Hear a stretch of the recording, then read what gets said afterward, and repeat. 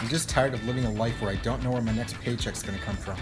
We got another call from the IRS.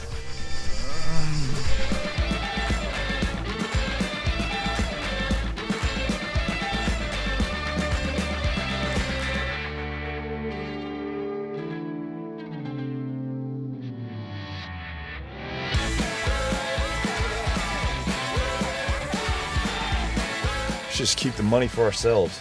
The safe is there. Money's there. Last thing we need is some moron finding our money. My money. You're playing Dustin Wright's game now, Blaine. No. Neither of you have anything to worry about.